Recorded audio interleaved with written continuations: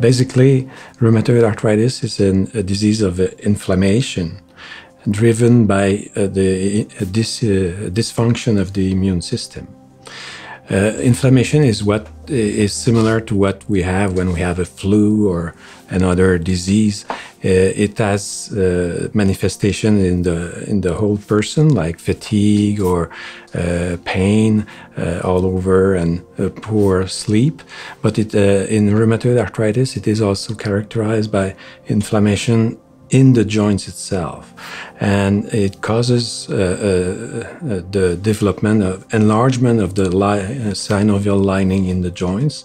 And uh, there's more uh, fluid produced in the joint that is of poor quality. So that gives the swelling, the warmth, and the pain that's in, in directly in the joints. That inflammation is the cause of some of the major problems we see with the uh, rheumatoid arthritis.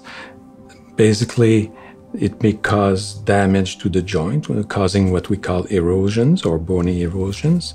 It can also damage the cartilage, causing uh, the dysfunction of the joint, like a, a, very rapid, it's similar to very rapid osteoarthritis, for example, uh, occurring in the, the, affected joint. And it can damage the uh, structures that uh, hold the, the joint together, like tendons and ligament, causing the, the, the deformities and the uh, lack of uh, the loss of function of the joints.